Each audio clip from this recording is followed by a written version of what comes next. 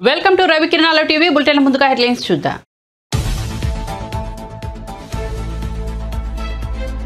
AP ప్రభుత్వానికి shock. విశాఖకు కార్యాలయాల తరలింపుకు హైకోర్టు బ్రేక్. కేసును త్రిసభ్య ధర్మాసనానికి బదిలీ చేసిన హైకోర్టు తీర్పు వచ్చేంత వరకు తరలింపుపై స్టేటస్ కో విధింపు.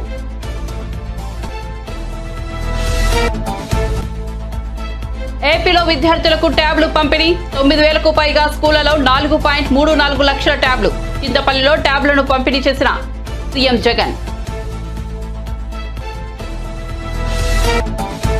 యువగలం సభ అవుటర్ ఫ్లాప్ అయిందన్న అంబటి. పవన్ ఎప్పుడు చంద్రబాబుతోనే ఉన్నారని విమర్శ. లోకేష్ను బలోపేతం చేసేందుకే జనసేన పెట్టారా అని ప్రశ్న.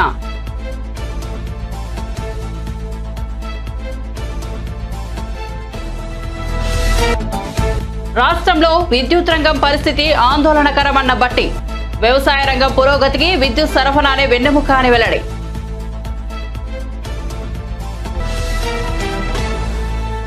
ఇక వార్త వివరాల్లోకి వెళ్తే విశాఖకు కార్యాలయాలను తరలించాలనుకున్న ఏపీ ప్రభుత్వ ఆశలపై హైకోర్టు నీళ్ళు చల్లింది. కార్యాలయాల తరలింపు ప్రక్రియకు కోర్టు బ్రేక్ వేసింది. కేసును త్రిసభ్య ధర్మాసనానికి బదలాయిస్తూ ఉత్తర్వులు జారీ చేసింది. త్రిసభ్య ధర్మాసనం తీర్పు వచ్చేంత వరకు కార్యాలయాల తరలింపుపై స్టేటస్ కో విధించింది అల్లూరు జిల్లా చింతపల్లిలో సీఎం వైఎస్ జగన్మోహన్ రెడ్డి పర్యటించారు. ఈ సందర్భంగా ప్రభుత్వ స్కూళ్ళలో ఎనిమిదో తరగతి చదువుతున్న విద్యార్థులకు ఉచితంగా ట్యాబ్స్ పంపిణీ చేశారు. ఈ కార్యక్రమంలో సీఎం జగన్ మాట్లాడుతూ విద్యార్థులే మన రాష్ట్ర భవిష్యత్ యాభై ఐదు నెలలుగా ప్రభుత్వం ప్రతి అడుగు విప్లవాత్మక మార్పులు దిశగా పడ్డాయి.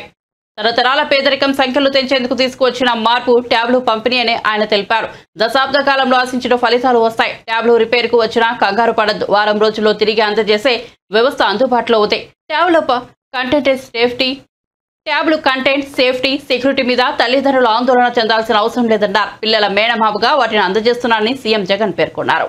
ఈ యాభై ఐదు యాభై ఐదు నెలలు ప్రతి అడుగు కూడా అధికారంలోకి వచ్చిన వెంటనే ఈ యాభై ఐదు నెలలుగా ప్రతి అడుగు కూడా ఒక విప్లవాత్మక మార్పును తీసుకొచ్చే దిశగా అడుగులు పడ్డాయి. అందులో భాగంగానే వరుసగా రెండవ ఏడాది ఈ రోజున గవర్నమెంట్ బడులలో చదువుతా ఉన్న ఎనిమిదవ తరగతి పిల్లలకు ఈరోజు ట్యాబులు ఇచ్చే కార్యక్రమం శ్రీకారం చుడతా ఉన్నాం. రాష్ట్ర వ్యాప్తంగా కూడా పది రోజుల పాటు ప్రతి ఎమ్మెల్యే కూడా ప్రతి మండలాన్ని కూడా సందర్శిస్తూ ఈ కార్యక్రమంలో పాల్గొనట్టుగా మరో పది రోజుల పాటు ఈ కార్యక్రమం జరుగుతుంది. ఎనిమిదవ తరగతి పిల్లలకు ట్యాబులు ఇచ్చే ఒక మంచి కార్యక్రమం పది రోజుల పాటు కొనసాగుతుంది. ఈరోజు మనం ఇచ్చే ఈ ట్యాబులు కేవలం ట్యాబులు మాత్రమే కావు. ప్రతి చెల్లెమ్మకు ఒక మంచి అన్నగా ప్రతి అక్కకు ఒక మంచి తమ్ముడిగా ప్రతి పిల్లాడికి ప్రతి పాపకు ఒక మంచి మేనమామగా.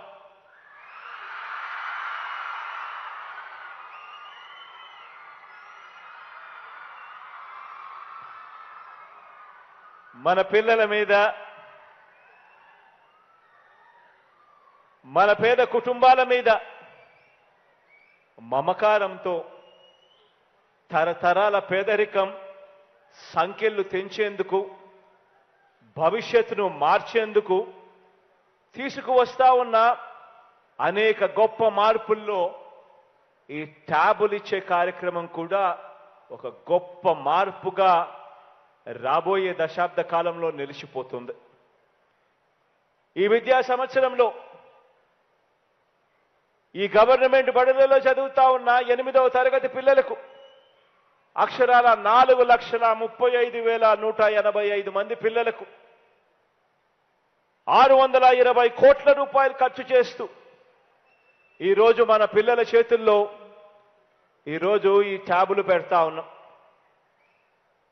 ఈ డిజిటల్ విప్లవంలో భాగంగానే గత ఏడాది కూడా మళ్ళీ నా పుట్టినరోజు ఆ రోజు గత ఏడాది ఆరు వందల ఎనభై ఆరు కోట్ల రూపాయలతో ఐదు లక్షల పద్దెనిమిది వేల ట్యాబులను పిల్లలకు చదువులు చెప్తా ఉన్న టీచర్లకు ఇద్దరికీ కూడా గత సంవత్సరం కూడా పంపిణీ చేశాం. పిల్లలకు అవసరమైన బైజూస్ కంటెంట్ను కూడా ఈ ట్యాబుల ఆఫ్లైన్లో సైతం పనిచేసేట్టుగా ఇవన్నీ కూడా అప్లోడ్ చేసి మరి ట్యాబులన్నీ కూడా ఇస్తా ఉన్నాం. ప్రతి పిల్లాడికి కూడా పాఠాలన్నీ సులభంగా పూర్తిగా అర్థమయ్యేట్టుగా కష్టపడకోకుండా కష్టాన్ని కాస్తోకిస్తో తగ్గించే కార్యక్రమం చేసేట్టుగా సులభంగా అర్థమయ్యేట్టుగా ఈ ట్యాబ్లో బైజూస్ కంటెంట్ను కూడా లోడ్ చేసి పిల్లలకందరికీ కూడా అండగా నిలబడతా ఉన్నాం. ఈ ట్యాబుల విషయానికి వస్తే ఈ ట్యాబుల విషయంలో పిల్లలందరికీ కూడా ఒకటే చెప్తా ఉన్నా. ఈ ట్యాబులు ఏదైనా రిపేర్కి వస్తే యువకులం పాదయాత్రను విజయవంతంగా పూర్తి చేసిన యువనేత నారా లోకేష్ను టీడీపీ అధినేత చంద్రబాబు నాయుడు ప్రశంసించారు. యువకులం దిగ్విజయంగా పూర్తి చేసిన లోకేష్కు అభినందనలు తెలిపారు. టీడీపీ పోరాటానికి మద్దతుగా నిలిచిన పవన్ కళ్యాణ్కు ధన్యవాదాలు తెలిపారు. ఆంధ్రప్రదేశ్ ప్రజలు మార్పును కోరుకుంటున్నారనే సంకేతాలను యువకులం నవశకం చాటి చెప్పింది. టీడీపీ జనసేన కలయికపై ప్రజలు నమ్మకంగా ఉన్నారు. రెండు పార్టీలు కలిసికట్టుగా ఏపీని దేశంలోనే గొప్ప రాష్ట్రంగా పునర్నిర్మిస్తాయని ట్వీట్ చేశారు. యువకులం విజయోత్సవ సభకు సంబంధించిన కొన్ని ఫోటోలను ఆయన షేర్ చేశారు. నారా లోకేష్ చేసిన యోగులం పాదయాత్ర ఫ్లాప్ అయిందని సభ అటర్ ఫ్లాప్ అయిందని ఏపీ మంత్రి అంబటి రాంబాబు ఎద్దేవా చేశారు. అసలు పాదయాత్ర ఎవరి కోసం చేశారో కూడా అర్థం కావడం లేదని అన్నారు. జనసేన అధినేత పవన్ కళ్యాణ్ ముందుగానే ప్యాకేజీ మాట్లాడుకుని సభకు వచ్చారని ఆరోపించారు. చంద్రబాబుతో పవన్ ఎప్పుడూ కలిసే ఉన్నారని చంద్రబాబు ఐదేళ్ళు అడ్డగోలు పాలన చేసినప్పుడు పవన్ ఎందుకు ప్రశ్నించలేదని అడిగారు. ఎన్నోసార్లు చంద్రబాబు లోకేష్లను పవన్ తిట్టారని ఇప్పుడు అదే నోటితో ప్రశంసిస్తున్నారని విమర్శించారు. జనసేన కార్యకర్తలను పవన్ మోసం చేస్తున్నారని అన్నారు. జనసేన సభకు రానని ముందు చెప్పిన పవన్ ఆ తర్వాత ఎందుకు వచ్చారని ప్రశ్నించారు. నారా లోకేష్ను బలోపేతం చేసేందుకే జనసేన పార్టీ పెట్టారా అని ప్రశ్నించారు. అమలు చేయడం సాధ్యం కాని హామీలను ఇచ్చి ప్రజలను మోసం చేయాలని చంద్రబాబు అనుకుంటున్నారని విమర్శించారు. ఏపీ శ్రీలంక అయిపోతుందన్న చంద్రబాబు ఇప్పుడు ఉచిత పథకాలను ప్రకటిస్తున్నారని చెప్పారు. జరిగినటువంటి తెలుగుదేశం పార్టీ జనసేన కలిసి నిర్వహించినటువంటి బహిరంగ సభ. ఇది నారా చంద్రబాబు నాయుడు గారి కుమారుడు లోకేష్ ఒక సుదీర్ఘమైన పాదయాత్ర చేశాడని ఆ పాదయాత్ర చాలా గొప్పదని ఆ పాదయాత్ర ముగింపు సందర్భంగా యువగలం నవశకం అనేటువంటి పేరుతో విజయనగరం జిల్లా పోలేపల్లిలో ఓ పెద్ద బహిరంగ సభ నిర్వహించాలని తలపెట్టారు. పాఠం చేశారు. స్పెషల్ ట్రైన్స్ వేశారు. బస్సులు వేశారు. రాష్ట్ర నలుమూలల నుంచి జనాన్ని సమీకరించేటటువంటి కార్యక్రమం చేశారు. ఆరు లక్షల మంది కార్యకర్తలు అక్కడికి వస్తారని జనసేన తెలుగుదేశం పార్టీ కలిసి అద్భుతమైనటువంటి ఒక పబ్లిక్ మీటింగ్ని ఏర్పాటు చేస్తున్నామని లోకేష్ గారి యువగలం పూర్తయిన సందర్భంగా దీన్ని నిర్వహిస్తున్నామని చాలా ఆర్భాటం చేశారు. చాలా గందరగోళం చేశారు. చాలా పెద్ద ఏర్పాట్లు చేశారు. చివరికి చూస్తే ఆ బహిరంగ సభ తుస్సుమనిపించే స్థాయిలో జరిగింది. ఏంటంటే రాంబాబు గారు తుస్సుమనే స్థాయిలో జరిగింది. పెద్ద పెద్ద విజువల్స్ చూశారు కదా అని చాలామంది అనొచ్చు. నేను మనవి చేస్తున్నా. ఆరు లక్షల మంది వస్తారని ప్రచారం చేసుకుంటే ఎంతమంది వచ్చారు? వచ్చిన వారు ఎంతసేపు ఉన్నారు? ఎవరు ఉపన్యాసాలు విన్నారు? మధ్యలో ఎందుకు వెళ్ళిపోయారు? దీన్ని విశ్లేషించుకోవలసినటువంటి అవసరం తెలుగుదేశం పార్టీకి జనసేనకి ఉంది అని ఈ సందర్భంగా నేను చెప్పదలుచుకున్నా. ఇంకో అంశం ఏమిటంటే అసలు యువగలం ఈ మొత్తం మూడు వేల నూట ముప్పై రెండు కిలోమీటర్లు లోకేష్ బాబు నడిస్తే ఆయన ఏమి సాధించాడు? ఏమి సమస్యలు తెలుసుకున్నాడు? ఏ సమస్యల్ని పరిష్కరించడానికి అక్కడ పరిష్కార మార్గాలు చెప్పాడు? ఏమి లేవు. అదేమంటే ఇది యువగలం ముగింపు సభ. యువగలం నవశకం అని చెప్పారు. మన దానిలో లోకేషే మన మాట్లాడాడు. ఇది యువగలం ముగింపు సభ మాత్రమే కాదు. యుద్ధం ప్రారంభమైంది. యుద్ధ పేరు మోకిస్తున్నాం ఎన్నికలు అని చెప్పారు. ఏం మోగలే అక్కడ యుద్ధ పేరు. ఇష్టం వచ్చినట్టుగా మాట్లాడేటువంటి ప్రయత్నం చేశారు.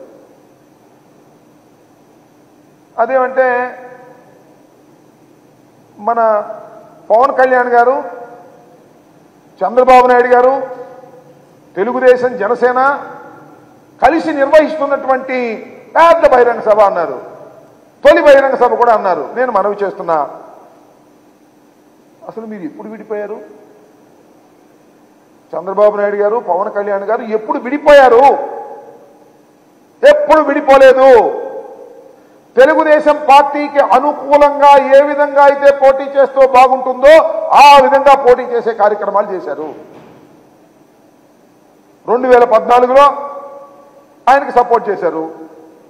రెండు వేల పంతొమ్మిదిలో విడిపోయి పోటీ చేస్తే చంద్రబాబు నాయుడు గారికి ఉపయోగం కలుగుతుందని అనుకొని విడిపోయి పోటీ చేశారు. ఇవాళ ఓట్లు చీలకోకుండా ఉండేందుకు కలిసి పోటీ చేస్తారట. జగన్మోహన్ రెడ్డి గారిని ఓడిస్తారట. ఇది తప్ప ప్రజా సమస్యల గురించి మీరు అక్కడ మాట్లాడారు ఎమ్మెల్యేల ట్రాన్స్ఫర్ ఏమిటన్న చంద్రబాబు వ్యాఖ్యలకు మాజీ మంత్రి కొడాలి నాని కౌంటర్ ఇచ్చారు. గురువారం గుడివాడలో ఆయన మీడియాతో మాట్లాడారు. ముప్పై ఏళ్ళ కిందటే చంద్రగిరి నుంచి కుప్పంకు ట్రాన్స్ఫర్ పై చంద్రబాబు వెళ్ళలేదా అని ప్రశ్నించారు. పవన్ భీమవరం గాజువాకకు లోకేష్ మంగళగిరికి వలస వచ్చిన వారే అని చెప్పారు. బాబు పవన్ లోకేష్ ఎమ్మెల్యేలుగా గెలిస్తే చాలని యుద్ధం చేస్తున్నారని సెటైర్ వేశారు. రెండు వేల తొమ్మిది సెప్టెంబర్ రెండో తారీఖున రాజశేఖర్ రెడ్డి గారు చనిపోయిన రోజు నుంచి జగన్మోహన్ రెడ్డి గారు యుద్ధం ప్రకటించాడు. సోనియా గాంధీతో ఢీ కొట్టి చంద్రబాబును ఢీ కొట్టి పదహారు నెలలు జైలు జీవితం అనుభవించి ఈ రాష్ట్రంలో తెలుగుదేశం పార్టీకి కాంగ్రెస్ పార్టీకి డిపాజిట్లు పోగొట్టి కాంగ్రెస్ పార్టీని ఈ రాష్ట్రంలో కూకటి వేలతో సహా పెగిలించి చంద్రబాబు నాయుడు నలభై సంవత్సరాలు అనుభవం ఉన్నటువంటి వ్యక్తిని నలభై ఇరవై మూడు సీట్లకు పరిమితం చేసి నూట యాభై ఒక్క సీట్లతో పవన్ కళ్యాణ్ రెండు చోట్ల కూడా చిత్తు చిత్తుగా ఓడించి చంద్రబాబు నాయుడు తనయుడు లోకేష్ మంగళగిరిలో మట్టి కరిపించి ఆయన అభ్యర్థుల మీద వీళ్ళని ఓడించి ఈ రాష్ట్రంలో ముఖ్యమంత్రిగా జైత్ర యాత్ర జగన్మోహన్ రెడ్డి గారు కొనసాగిస్తున్నారు. పవన్ కళ్యాణ్ చంద్రబాబు నాయుడు లోకేష్ ఇప్పుడైనా యుద్ధ పేరు మోగించి గంటలు మోగించి పిల్లి మేడలో గంటలు కట్టుకొని చచ్చి ఉంటారు నిన్న మొన్న. జగన్మోహన్ రెడ్డి గారు రెండు వేల తొమ్మిదిలోనే యుద్ధ పేరు మోగించాడు. సోనియా గాంధీని మట్టి గడిపించాడు. చంద్రబాబు నాయుడు భూస్థాపితం చేశాడు. పవన్ కళ్యాణ్ రెండు చోట్ల చిత్తు చిత్తుగా ఓడించాడు. పప్పు గారిని లోకేష్ గారిని మంగళగిరిలో సమాధి చేశాడు. అది పరంపర కొనసాగుతూనే ఉంది. జగన్మోహన్ రెడ్డి గారు ఈ రోజు యుద్ధ పేరు మోగించడం కాదు రెండు వేల తొమ్మిదిలోనే మోగించారు. పవన్ కళ్యాణ్ చంద్రబాబు నాయుడు లోకేష్ అడుగుడిపోయిన బకీటు తోలు బకీటు వీళ్ళందరూ కూడా ఈ బోరగాళ్ళందరూ కూడా వచ్చినా కూడా తెలంగాణలో విద్యుత్ కష్టాలకు కాంగ్రెస్ పార్టీనే కారణమని BRS working president MLA KTR అన్నారు. నీళ్ళు బొగ్గులేని రాయలసీమలో బొగ్గులేని విజయవాడలో థర్మల్ పవర్ కేంద్రాలు నెలకొల్పుతారు. తెలంగాణలో ఆ రోజు విద్యుత్ కేంద్రాలు కట్టకుండా రాష్ట్రం ఏర్పడే నాటికి ఇరవై ఏడు వందల మెగావాట్ల లోటు నష్టాలతో తమకు అప్పజెప్పారని కేటీఆర్ ఆగ్రహం వ్యక్తం చేశారు. శాసనసభలో విద్యుత్ రంగ పరిస్థితిపై స్వల్పకాలిక చర్చ సందర్భంగా కేటీఆర్ మాట్లాడారు. యాభై సంవత్సరాల యాభై ఐదు సంవత్సరాల కాంగ్రెస్ పార్టీ చరిత్ర కాంగ్రెస్ పార్టీ నిర్వాకం విద్యుత్ విషయం అడుగుతారు ఇనరా అడుగుతారు ఇనరా మళ్ళా? అదే చెప్తున్నా. అధ్యక్ష నేను చెప్తాను వైట్ పేపర్లో వైట్ పేపర్లో ఇలా చాలా గొప్పగా ఈ ప్రభుత్వమే స్పష్టంగా చెప్పింది అధ్యక్ష. ఏం చెప్పింది అధ్యక్ష? మాకు ప్రజలు పదకొండు సార్లు అవకాశం ఇస్తే యాభై ఏళ్ళ అవకాశం ఇస్తే మేము ఇయ్యగలిగింది రెండు వేల పద్నాలుగు నాటికి ఆరు గంటల కరెంటు మాత్రమే. అంతటి అసమర్థత మాది అంతటి చేతగానితనం మాది అని వాళ్ళే ఒప్పుకున్నారు అధ్యక్ష. అధ్యక్ష చెప్పనండి అధ్యక్ష. నేనేం అన్పార్లమెంటరీ మాట్లాడతలేను? శ్వేతపత్రంలోదే మాట్లాడుతున్నా. అధ్యక్ష కాంగ్రెస్ పబ్ అధ్యక్ష ఇప్పుడు మీది కాంగ్రెస్ పార్టీ కాదు సార్. అధ్యక్ష మీరు మాకు అవకాశం ఇవ్వాలి సార్ తప్పు సార్. సార్ ఆయన మాట్లాడినప్పుడు నాకు అవకాశం ఇవ్వాలి మీరు దయచేసి. అధ్యక్ష విజయవాడలో విజయవాడలో విజయవాడలో రాయలసీమ థర్మల్ పవర్. కేంద్రం ఎక్కడ పెట్టిన అధ్యక్ష? కడప. కడపలో బొగ్గుందా అధ్యక్ష? కడపలో నీళ్ళున్నాయా అధ్యక్ష? విజయవాడలో బొగ్గుందా? ఇలా బాగా మాట్లాడుతున్నారు. ఆ రోజు తెలంగాణలో విద్యుత్ కేంద్రాలు కట్టకుండా తెలంగాణ ఏర్పడే నాటికి తెలంగాణ ఏర్పడే నాటికి ఇరవై ఏడు వందల లోటు లోటు మెగావాట్లతో ఇరవై ఏడు వందల మెగావాట్ల లోటుతో ఆనాడు మాకు నష్టాల్లో అప్పజెప్పిపోయింది వీలు కాదా అధ్యక్ష? ఆరు గంటల కరెంట్ ఇచ్చింది వీలు కాదా? సామాజిక భద్రతా పింఛన్ల విషయంలో రాష్ట్ర ప్రభుత్వం మాయాజాలం చేస్తోందని జనసేన పీఎస్సీ చైర్మన్ నాదర్ల మనోహర్ ఆరోపించారు. నెల రోజుల్లో పంతొమ్మిది వేల మంది పింఛన్లకు కోత పెట్టారని దోచమెత్తారు అంకెల గారెడితో వేల కోట్లు దోచుకున్నారని ఈ సొమ్ము ఎక్కడికి వెళ్తుందో తెలియట్లేదన్నారు. మంగళగిరిలోని జనసేన పార్టీ కేంద్ర కార్యాలయం ఏర్పాటు చేసిన మీడియా సమావేశంలో ఆయన మాట్లాడారు. నవంబర్ రెండు వేల ఇరవై మూడులో రెండు వేల ఏడు వందల యాభై చొప్పున యాభై నాలుగు లక్షల అరవై తొమ్మిది వేల నూట అరవై ఒక్క మందికి పింఛన్లు ఇచ్చామని ప్రభుత్వం చెబుతోంది. డిసెంబర్ నెల వచ్చేసరికి పంతొమ్మిది వేల ఎనిమిది వందల డెబ్బై ఒక్క పింఛన్లు తగ్గిపోయాయి. ఒక నెల వ్యవధిలో పింఛన్లు కోత పెట్టి రెండు వందల తొంభై ఒక్క కోట్లు కాజేశారు. ఇటీవల జరిగిన కేబినెట్ సమావేశంలో పింఛన్లపై చర్చ జరిగింది. సమావేశం ముగిసిన తర్వాత మంత్రి బయటకు వచ్చి నవంబర్ నెలకు అరవై ఐదు పాయింట్ మూడు మూడు లక్షల మందికి పింఛన్లు మంజూరు చేసినట్లు పత్రికా ప్రకటన విడుదల చేశారు. కానీ అర్హత ఉన్నవారికి కూడా పింఛన్లు నిలిపివేశారని నాదెండ్ల మనోహర్ ఆరోపించారు. ఏ విధంగా చేసేదేమో గోరంత చెప్పేదేమో కొండంత. ఆ ఆలోచన విధానంలో ఎంతమందిని మోసం చేస్తున్నారో ఎంత అవినీతికి పాల్పడుతున్నారో రాష్ట్ర ప్రభుత్వం ఇచ్చే లెక్కల్లోనే ప్రజల్ని మాయం చేసే విధంగా గందరగోళ పరిస్థితి తీసుకొచ్చే విధంగా ఈ రాష్ట్ర ప్రభుత్వం వ్యవహరిస్తోంది. జగన్మోహన్ రెడ్డి గారి పుట్టినరోజు సందర్భంగా ముందుగా ఆయనకి శుభాకాంక్షలు తెలుపుకుంటూ ఒక్కసారి మన భారత రాజ్యాంగంలో ఏ విధంగా ఏడో షెడ్యూల్లో అదేవిధంగా రాష్ట్ర విధానం యొక్క నిర్దేశిక సూత్రాలు అంటే డైరెక్టివ్ ప్రిన్సిపల్స్ ఆఫ్ స్టేట్ పాలసీలో ఆర్టికల్ ఫార్టీ వన్ కింద సామాజిక భద్రత పైన ఒక బాధ్యత ప్రతి ప్రభుత్వానికి ఉంటుందని మన పెద్దలందరూ కూడా రాజ్యాంగంలో రాశారు. దాన్ని ఉల్లంఘించడమే కాకుండా ఏమాత్రం కూడా ఇది పేదవాడికి పెత్తందారికి జరిగే పోరాటం అని చెప్పుకునే ఈ ముఖ్యమంత్రి ఎంత దారుణంగా వ్యవహరించి రాష్ట్ర ప్రజలకి మోసం చేస్తున్నారో ఈరోజు మీ ముందు లెక్కలతో సహా జనసేన పార్టీ నుంచి మేము ప్రవేశపెడుతున్నాం. మన రాష్ట్రంలో పెన్షన్ల కేటగిరీలు ఎనిమిది ఉంటాయి. వృద్ధాప్య పెన్షన్ వితంతు పెన్షన్ ఒంటరి మహిళల పెన్షన్ అదేవిధంగా వికలాంగులకి చేనేతలకి మత్స్యకారులకు చర్మకారులకు గీత కార్మికులకి అదేవిధంగా హెచ్ఐవి వ్యాధి సోకిన వాళ్ళకి ఏఆర్టీ పెన్షన్లు అంటాం. ఈ కేటగిరీస్ అన్నిటినీ కూడా ఈ రాష్ట్ర ప్రభుత్వం ప్రతి సంవత్సరం కూడా ప్రతి నెల కూడా వీళ్ళకి సంక్షేమం ద్వారా ఈయన బట్టలు నొక్కే కార్యక్రమం ద్వారా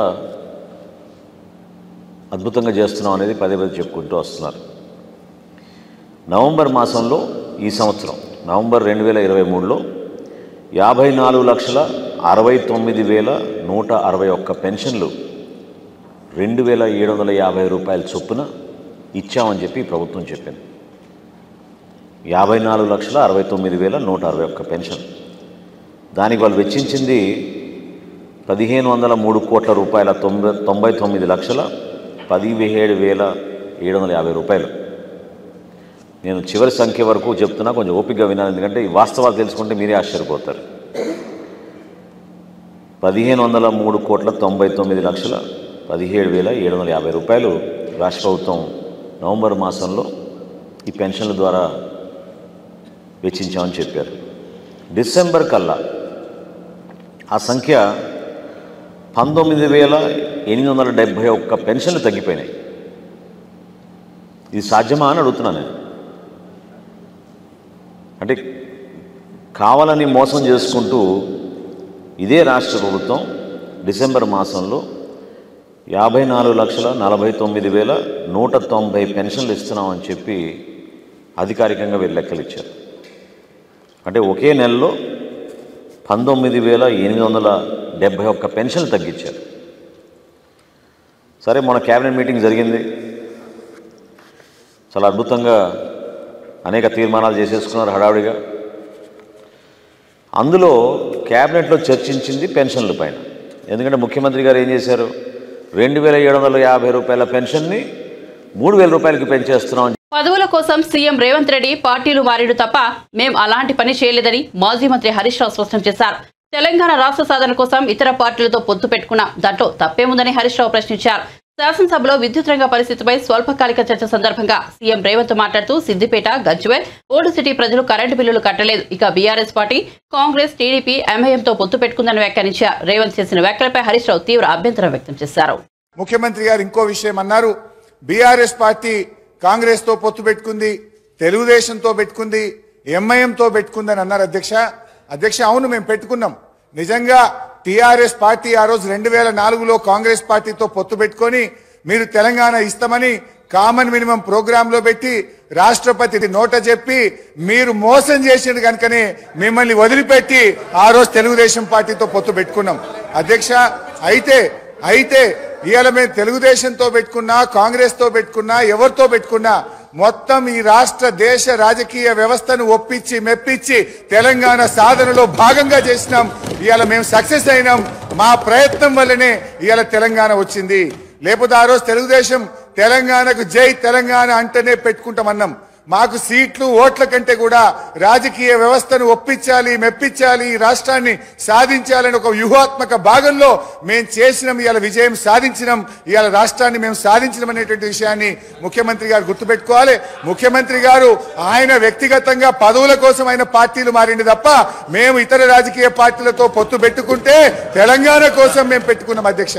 కాంగ్రెస్ పార్టీ తెలంగాణ ఇవ్వకుంటే మన రాష్ట్రం ఎలా వచ్చిందని హుస్నాబాద్ ఎమ్మెల్యే పొన్నం ప్రభాకర్ ప్రశ్నించారు. తెలంగాణ మేము ఇవ్వకుంటే ఇంకెవరిచ్చారన్నారు విద్యుత్ పై చర్చ సందర్భంగా పొన్నం మాట్లాడుతూ కాంగ్రెస్ తెలంగాణ ఇస్తేనే బీఆర్ఎస్ పదేళ్ళ అధికారంలో ఉందన్నారు. ఆ రోజు తాము ఎంపీలుగా తెలంగాణ కోసం పోరాడమన్నారు. మేము కొట్లాడకపోతే తెలంగాణ ఎక్కడిది అన్నారు. పోడియం వద్ద గొడవ జరిగినా ఆనాడు కాంగ్రెస్ విభజన బిల్లు ఇచ్చ తెచ్చిందన్నారు. కానీ తెలంగాణ వచ్చాక పదేళ్ళు అధికారంలో ఉన్న బీఆర్ఎస్ ఏం చేసిందన్నారు? ముఖ్యమంత్రి రేవంత్ రెడ్డి సిద్దిపేట నుంచి బకాయిలు ఉన్నాయన్నారు కానీ సిద్దిపేట ప్రజలను ఏమీ అనలేదని గుర్తు చేశారు. వారు చెప్పినట్టుగా అది వాటర్ ప్రాజెక్టుదా ఇంకేదా ఆ డెఫినేషన్లో పోలేదు. అక్కడ నుంచి బకాయిలు రావాల్సి ఉండే వారు గౌరవ సమర్థవంతమైన శాసనసభ్యులు బిల్లు కట్టేయాల్సి ఉండే అన్నారు తప్ప దానికి మీరు అంతలో దొంగ దొంగనే అంటే భుజాలు జరుపుకునే అవసరం తర్వాత మీరు చెప్తా ఉన్నారు ఇవాళ అరే నేనేమన్నా భుజాలు జరుపుకునే అవసరం లేదు. ప్రజల గురించి మాట్లాడలేదని చెప్తా ఉన్నాం గారు చెప్తా ఉన్నా. తర్వాత అధ్యక్ష ఇంకొక మాట ఇలా తెలంగాణకు సంబంధించి చెప్తారు. తెలంగాణ కాంగ్రెస్ చేయకపోతే వాళ్ళు అధ్యక్ష? ఇలా తెలంగాణ తెస్తే మీరు పది సంవత్సరాలు మంత్రులు దయచేసి ఆ విషయం మర్చిపోవద్దు ఇలా తెలంగాణ తేకపోతే తెలంగాణ పార్లమెంట్ ఆర్టికల్ త్రీ. ఇవాళ మీ పార్లమెంట్ సభ్యులు కేశవరావు గారు అడగండి. కాంగ్రెస్ పార్లమెంట్ సభ్యులు లేకపోతే తెలంగాణ ఎక్కడ అధ్యక్ష? ఇలా వీళ్ళు మాట్లాడతారు. ఆనాటి నాయకత్వం ఒకరిని చెప్తానా? అన్ పార్లమెంట్ అయితే తిరుగుతాం కానీ ఈయనకే ఏం నాకుండా పోయినా కూడా పార్లమెంట్లో తెలంగాణ బిల్ పాస్ అయిపోతే రాకపోతే అధ్యక్ష. ఆనాడు స్పీకర్ లోక్సభ స్పీకర్ ఆనాడు సభ్యులు. ఓ పోడియం దగ్గర లొల్లైతుంటే కూడా బిల్లు ఏ విధంగా పాఠ్యాలు చేస్తే ఇట్లా మాట్లాడితే ఇట్లా పొరుగుతే ఎట్లా నడుస్తాయి అధ్యక్ష? నేను అడుగుతా ఉన్నా ఇలా బరాబరుగా కాంగ్రెస్ పార్టీ సోనియా గాంధీ గారి నాయకత్వంలో ఈ హౌస్లో ఈ హౌస్లో వాళ్ళ నాయకుడు చెప్పిండు సోనియా గాంధీ లేకపోతే తెలంగాణ వచ్చేది కాదు ఇవాళ ఇట్లా మాట్లాడితే ఎట్లా అధ్యక్ష? ఆనాడు ఉండే పరిస్థితి వల్ల మేము మళ్ళీ చెప్తున్నాం మా రాజగోపాల్ రెడ్డి గారు మా డాక్టర్ వివేక్ గారు మేము ఆయన వాళ్ళ ఎంపీ కేశవరావు గారు ఇలా శాసన మండలి చైర్మన్ సుఖాంజర్ రెడ్డి గారు కానీ పార్లమెంట్ సభ్యులం. లేకపోతే ఎక్కడిది తెలంగాణ అధ్యక్ష? సోనియా గాంధీ గారు లేకపోతే అధ్యక్ష ఇంకొకటి సబ్జెక్ట్ ఈ కాకుండా ఒకటి గౌరవ నేను జగదీశ్వర్ రెడ్డి గారు మంత్రి గారు అడుగుతా ఉన్న పది సంవత్సరాలలో ఎన్ని సంవత్సరాలు విద్యుత్ శాఖ మంత్రి ఉన్నారో తెలియదు. అధ్యక్ష ఒకరు కుసారు తాపక్ పాల అయినా మెంబర్ ఆఫ్ ఈరోజు ఈరోజు అధ్యక్ష రెండు వేల పది అధ్యక్ష రెండు వేల పది ఫిబ్రవరిలో ఆనాటి గౌరవ ముఖ్యమంత్రి గారు రోషయ్య గారు. తెలంగాణ ఉద్యమం ఉన్నప్పటికీ కూడా మేము ఆనాడు శ్రీధర్ బాబు గారు మేము గౌరవ శాసనసభ్యులు కేటీ రామారావు గారు శాసనసభ్యులు. మేము ఆనాడు నేదురూరులో ఒక పవర్ ప్లాంట్ ఫౌండేషన్ వేసుకున్నాం. మూడు ఇంటూ ఏడు వందల రెండు వేల ఒక వంద మెగావాట్కు అధ్యక్ష నేను ఎందుకు చెప్తా ఉన్నానంటే ఆ పవర్ ప్లాంట్ ఫౌండేషన్ వేసుకున్నాం రెండు వేల పదిలో మేము పార్లమెంట్ సభ్యుని గ్యాస్ అలిగేషన్ రాలే. ముఖ్యమంత్రి గారు అనేక సందర్భాలు లెక్క రాసిండు. నాలుగు వందల ముప్పై రెండు ఎకరాల జాగాను పదమూడు కోట్లు పెట్టి ఆనాడు చేసిన అధ్యక్ష. పొల్యూషన్ సంబంధించినటువంటి అన్ని అనుమతులు వచ్చినాయి. వాటర్ శాంక్షన్ తీసుకున్నాం. దానికి సంబంధించిన పర్యావరణ అనుమతులతో పాటుగా మొత్తం అనుమతులు వచ్చినాయి అధ్యక్ష. మేము చేస్తలేమని గౌరవ సభ్యుడు వేరే ఈ సభలలో పేరు రద్దు కాబట్టి చెప్తాను. నేను చెప్పినాక చెప్పు సార్. నేను చెప్పినాక చెప్పు సార్. నేను గౌరవ సభ్యులు. మిగతా లేని వాళ్ళ పేరు తీసుకోవద్దు కానీ నేను తీసుకుంటలేను. వాళ్ళు మా పిండ ప్రదానం చేసిన అధ్యక్ష అన్నాడు. నేను బతికున్నటువంటి పార్లమెంట్ సభ్యుడిని ఆ ప్రాజెక్ట్ ఎందుకు చేస్తలేరని మా పిండ ప్రదానం చేసిరు ఇవాళ వీళ్ళు పదేళ్ళ అధికారం మేమేం చేయాలి అధ్యక్ష వీళ్ళకి ఇవాళ? ఆ ప్రాజెక్ట్ ఎందుకు కట్టాలి? బొగ్గులేని యాదాద్రి బొగ్గులేని యాదాద్రి భద్రత చేస్తారు? నాకు సింగరేణి నాకు కూత వేటలు ఉంటది. నా ప్రాజెక్ట్ ఎదురు ఎందుకు అధ్యక్ష? బులెటిన్ ముగించే ముందు హెడ్లైన్స్ మరోసారి చూద్దాం.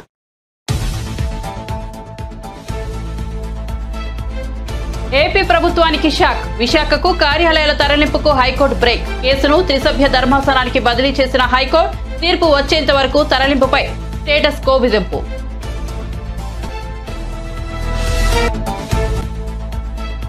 ఏపీలో విద్యార్థులకు ట్యాబ్లు పంపిణీ. తొమ్మిది వేలకు పైగా స్కూళ్ళలో నాలుగు పాయింట్ మూడు నాలుగు లక్షల ట్యాబ్లు చింతపల్లిలో ట్యాబ్లను పంపిణీ చేసిన సీఎం జగన్. యువగలం సభ అవుటర్ ఫ్లాప్ అయిందన్న అంబటి. పవన్ ఎప్పుడు చంద్రబాబుతోనే ఉన్నారని విమర్శ. లోకేష్ను బలోపేతం చేసేందుకే జనసేన పెట్టారా అని ప్రశ్న.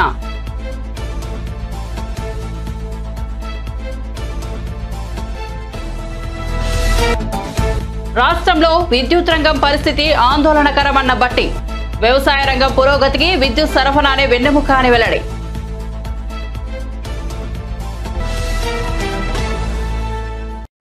మరిన్ని అప్డేట్స్ కోసం చూస్తూనే ఉండండి రవికిరణాల టీవీ.